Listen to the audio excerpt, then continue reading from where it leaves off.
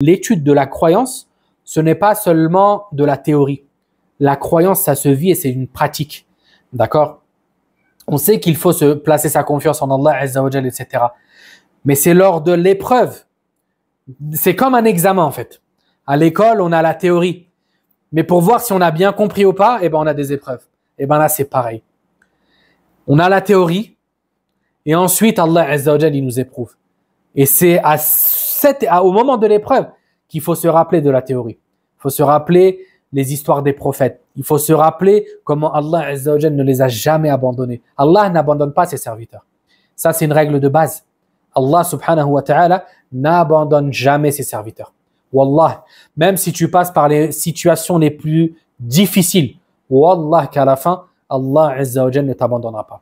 Qu'Allah il t'éprouve afin de t'élever, afin d'expier tes péchés, afin de te purifier. D'accord? Mais à la fin, Allah Azza il t'abandonnera pas. C'est impossible.